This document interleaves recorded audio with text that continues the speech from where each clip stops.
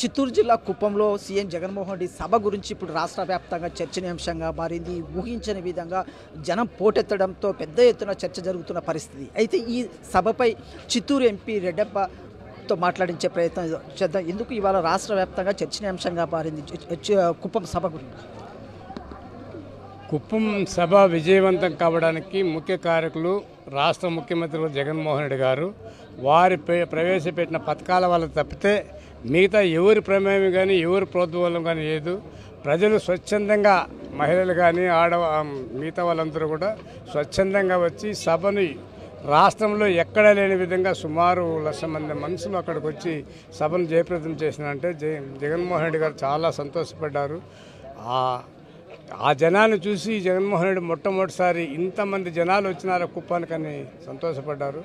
దీంతో చంద్రబాబు మాత్రము ఎలాంటి పరిస్థితుల్లో కుప్పంలో కంటెస్ట్ చేయడు?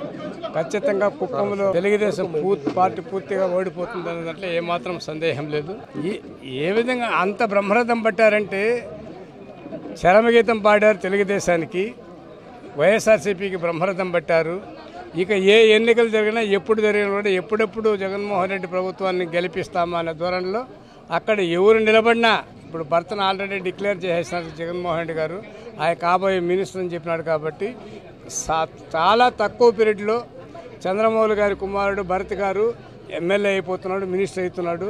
దీనికి జగన్మోహన్ రెడ్డి గారి రామచంద్రారెడ్డి గారి ఆశీస్సులు నిండుగా మెండుగా భరతుకున్నాయని తెలియజేసుకుంటుంది ఇది మొత్తం మీద ఇది కుప్పం సభ చర్చనీయాంశంగా మారింది.